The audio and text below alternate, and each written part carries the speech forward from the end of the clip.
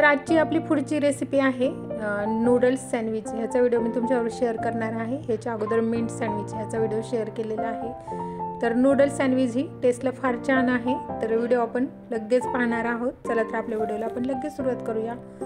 तर सर्वप्रथम मी हक्का नूडल्सचे एक हक्का पॉकेट बॉईल करून घेतलेलं आहे. त्याच्यानंतर सँडविचचे ब्रेड लागणार आहेत आपल्याला. आणि गॅस चालू करून आपली कढई मी गॅसवरती ठेवलेली आहे. कढई गरम झाल्यानंतर आपण त्याच्यामध्ये एक पळी तेल टाकणार आहोत. आणि तेल छान गरम होऊन द्यायचं आहे. आता मस्त असं तेल गरम झालेलं आहे. तर लसणाच्या पाच सहा पाकळ्या मी बारीक करून लसूण घेतलेला आहे. तर लसूण थोडासा तेलामध्ये आपण परतून घेऊया. चवीनुसार मीठ टाकायचं आहे. मीठ टाकल्यानंतर ह्याच्यामध्ये मी रेड चिली साधारण एक चमचा टाकणार आहे. रेड चिल्ली टाकल्यानंतर सोया सॉस एक चमचा टाकायचा आहे. गॅसची फ्लेम मी मोठीच ठेवलेली आहे. सोया सॉस टाकल्यानंतर आपण याच्यामध्ये विनेगर टाकणार आहोत. तेही एक चमचा टाकायचं आहे. मिक्स करून घ्यायचं आहे.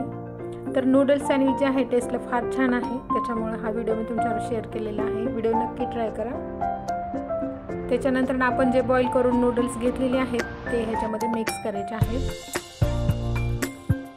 तर नूडल्स पहा आपले मस्त असे छान सुटसुटीत झालेले आहेत अशाच प्रकारे तुम्हीही नूडल्स बॉईल करून घ्या मिक्स करून घ्यायचं आहे. अगदी झटपट होणारे सँडविच आहे आणि पोटभरीचे सँडविच आहे हे. मुलांना तर फार आवडणार आहे. ह्याच्यामध्ये आपण मिरेपूड साधारण अर्धा चमच्याला थोडीशी कमी टाकणार आहे मी. मिक्स करून आपले सँडविचचे नूडल्स तयार झालेले आहे. आता आपली पुढची प्रोसेस आपण पाहूया. त्याच्यानंतर गॅस चालू करून आपलं पॅन मी गॅसवरती ठेवलेलं आहे. त्याच्यामध्ये मी साजूक तूप टाकणार आहे.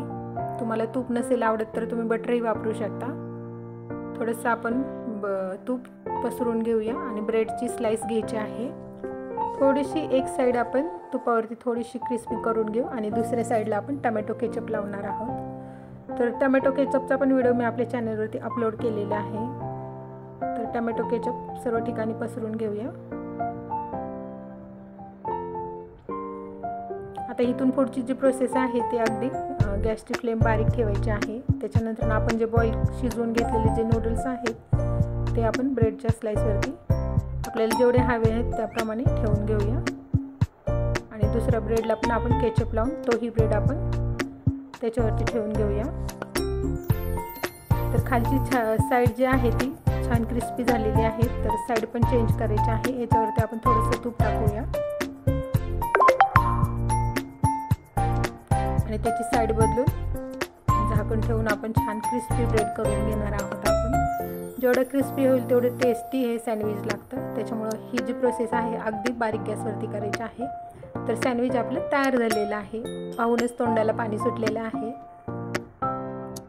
सँडविच आपण साईडला काढून घेऊया. ह्याच प्रोसेसने आपण बाकीचे सँडविचे बनवून घ्यायचे आहे.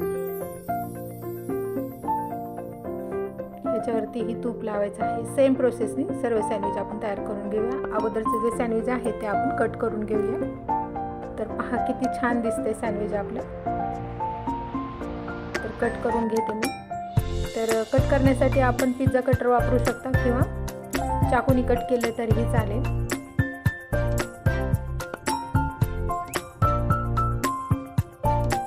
तर टेस्टला एक नंबर सँडविच आहे. लहानांपासून मोठ्यांना आवडणारे सँडविच आहे. तर व्हिडिओ नक्की ट्राय करा कारण फार फार टेस्टी सँडविच आहे. माझ्या मुलांना तर फार आवडतं हे सँडविच. तर हे सँडविच जे आहे ते आपण सॉसमध्ये डीप करून खाऊ शकतो. तर असेच छान छान व्हिडिओ घेऊन मी येतच राहील. मस्त खा स्वस्त राहा. माझा व्हिडिओ पाहिल्याबद्दल धन्यवाद.